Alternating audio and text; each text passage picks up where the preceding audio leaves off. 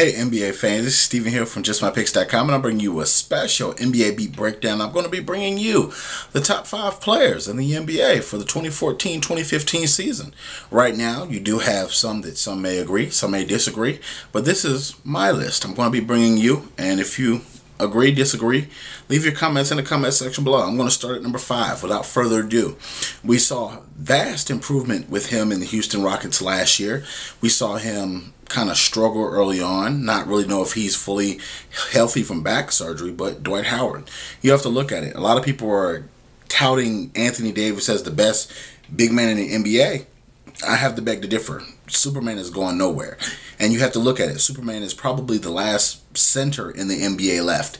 And what he does and his improvement in his game and how he's really improved, I have to think that, okay, Dwight Howard is a serious monster in the middle. The Houston Rockets, even though they lost Chandler Parsons, will depend more on Trevor Ariza. They will depend more on James Harden and, of course, Dwight Howard. His uh, free throws have to improve, of course, but his defensive pedigree. The way that Dwight Howard was in Orlando, I think we'll see a lot more of that in Houston as far as blocking shots, as far as staying out of foul trouble. He's going to have to do a little bit more to work on that. But as far as number five, Dwight Howard is the fifth best player in the NBA. Now, coming in at number four, we have to look at Oklahoma City, Russell Westbrook. Russell Westbrook beat out Chris Paul to be on this list because of his skill set, because Russell has the speed to beat out Chris Paul, because I feel like Russell can score and get back, uh, get to the rim better than Chris Paul. It's not about leadership here; it's about overall skill set. What Chris Paul does for the Lake, uh, for the Los Angeles Clippers is great, but what you have to think about Russell Wilson, I mean Russell Westbrook, ugh, excuse me, just blunder for words. Russell Westbrook, what he does for the Oklahoma City Thunder is just so crazy, and and him and Durant combo together, that's possibly the best one-two punch in the NBA. You know that even though you have a, a couple of things where they failed a couple of times, Westbrook is one of the most dominant shooting guards slash point guards in the NBA. And what he does, that 0 to 100 as far as speed with or without the basketball, that fiery personality, that's what I want. I want a person to actually care about the basketball game. I want a person to be so in tune with the basketball game that their everything is in that one game. And then they move to the next game and their everything's in that game.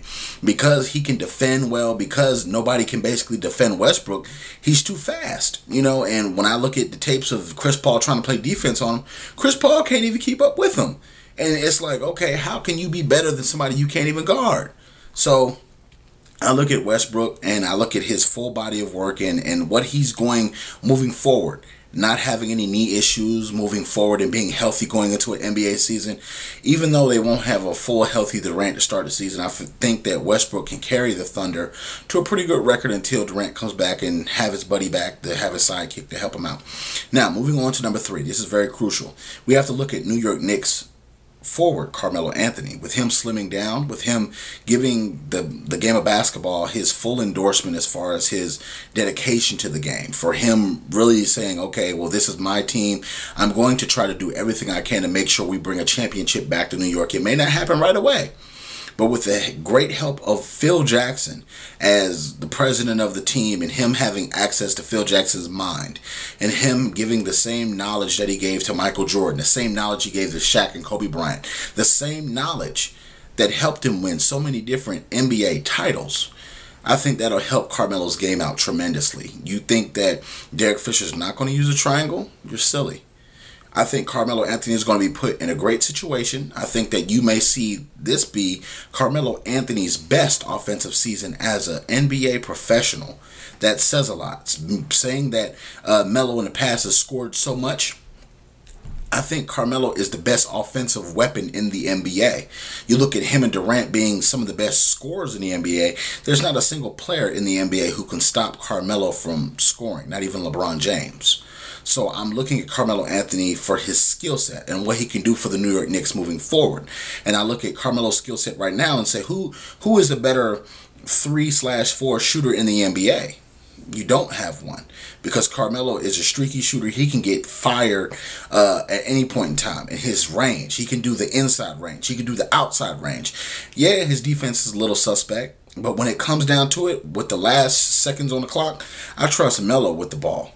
I don't trust all these other guys. So just looking at some of the things that Carmelo does from the offensive side of the ball, that outweighs his defensive deficiencies, and that's why he's number three on the list. Now, number two, even though he's injured and he'll be back in a couple of weeks, but Kevin Durant. Kevin Durant is leader of the Oklahoma City Thunder.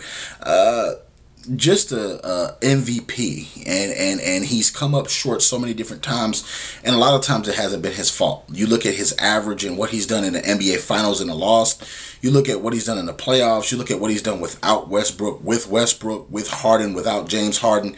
It's just so many things and he's due to basically break out. Literally, he broke his foot, but he's due to break out and really have a great NBA season. And if he can come back healthy and that foot not bother him, I'm looking forward to Durant taking that next step to get closer to LeBron as far as his game, getting closer to LeBron as far as actual talent, get closer to LeBron in actual distance because right now it is a little distance. Um, and just doing so many different things that Durant does well, the long, lengthy, uh, frame he has. He's gotten a weight room, gained a little weight this off season, got a little muscle on that little frame.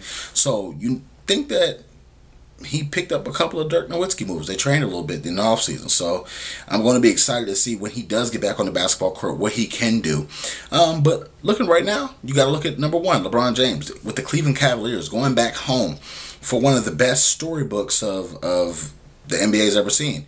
Him teaming up with newly traded former Timberwolf Kevin Love and Kyrie Irving and, and having Tristan Thompson and Dion Waiters and Anderson Varejao, he's going to have a chance to take a step back and really see what this Cavs team can do and what they're made of because they're no slouches, they're no chumps. And you look at the veteran leadership of having Shawn Marion back and and and and having him in that court with Kevin Love sometimes, and, and even Shawn Marion being able to sub in for LeBron and play LeBron's position, that's a big deal. They want to rest LeBron going throughout the year so he can be fresh for the playoffs. And you know that it's going to be a three team race in the East. It's not going to be that hard. You have to beat out the New York Knicks, you have to beat out the Chicago Bulls, and you also have to beat out the Miami Heat. So if you're the Cleveland Cavaliers, you have three teams to beat before you get to the NBA Finals. Possibly, uh, you don't have to face all those guys, but those are the teams that you basically have to go through if you want to go to the NBA Finals. And I think that they could beat all three of those teams that I named. The Indiana Pacers are not that good without Paul George, I presume. So it's just going to be crazy. And and I just look at it.